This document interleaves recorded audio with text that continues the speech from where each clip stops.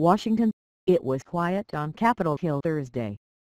Mention of Tim Murphy's name resulted in silence, an uncomfortable conversation or a careful statement Paul Ryan's spokeswoman. She wouldn't discuss details of the House Speaker's meeting with the Republican congressman the day before. Mr. Murphy's Grand Old Party colleagues from Pennsylvania.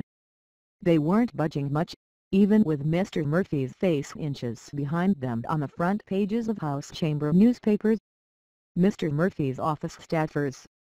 Nothing much to say. And then, it happened.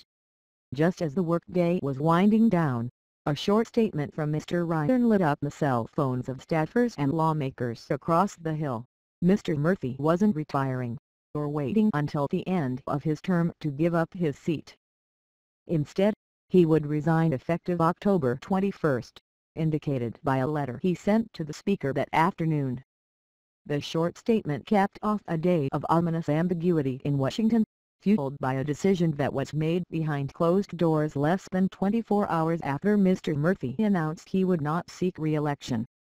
There was little indication the news was coming.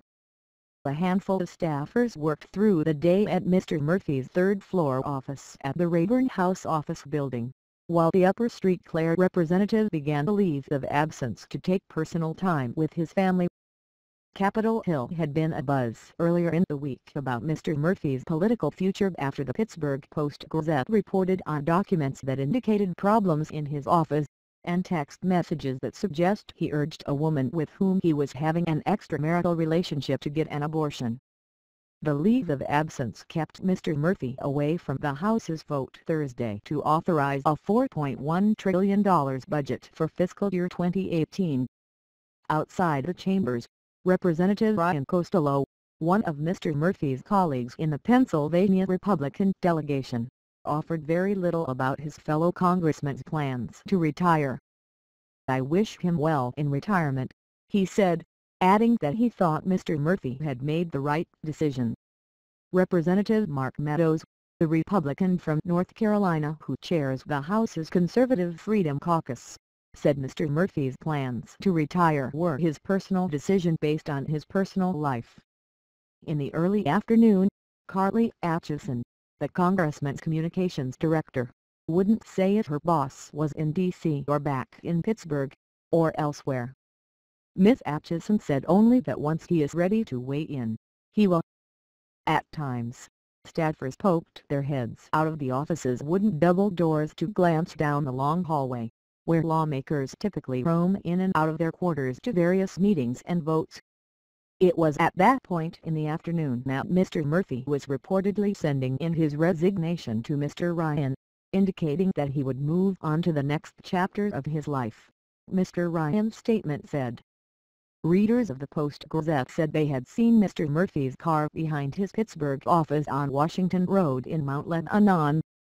But the front door was locked, and two women who opened the door when a reporter approached said they had no comment. Once Mr. Ryan announced Mr. Murphy's resignation, details of what proceeded were scant. Brendan Buck, a spokesman for Mr. Ryan, said he wouldn't discuss any particulars. All I can confirm is that the speaker talked to Mr. Murphy multiple times this week, Mr. Buck wrote in an email. As social media widely reacted to the announcement, Republicans in the House continued to be tight-lipped of 226 Twitter accounts affiliated with House Republicans, none posted about Mr. Murphy. Reps. Lloyd Smucker and Mike Boyle of Pennsylvania's Republican delegation posted about tax reform and the federal budget.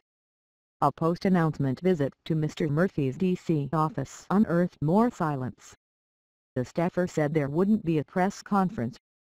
There wasn't a statement from the congressman, only what had come from the speak and email to his spokeswoman was Kit back with a note that said she would be out of the office until October 10, and included the text of Mr. Ryan's statement.